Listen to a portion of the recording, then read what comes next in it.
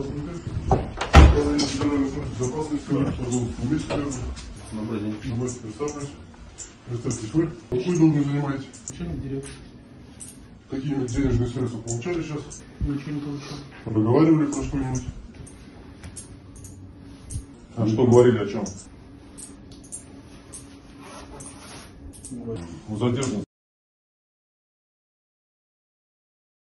ФСБ России по Саратовской области выявлена и пресечена противоправная деятельность сотрудника ОАО «Российские железные дороги», подозреваемого в получении взятки в виде денег в особо крупном размере, за совершение незаконных действий и за способствование в совершении незаконных действий в пользу взяткодателя.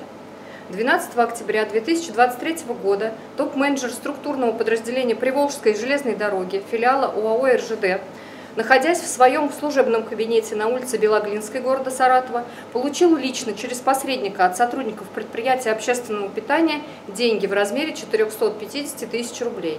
Часть от требуемой взятки в особо крупном размере в сумме 1 миллион 150 тысяч рублей за совершение незаконных действий в пользу указанной организации и за способствование в силу своего должностного положения в совершении указанных действий, а именно за заключение между предприятием общественного питания и ОАО «Российские железные дороги» договора по оказанию услуг по организации питания в детских лагерях. Следственным отделом по городу Саратов регионального следственного управления возбуждено уголовное дело в отношении сотрудника УАО РЖД в совершении преступления, предусмотренного частью 6 статьи 290 Уголовного кодекса России.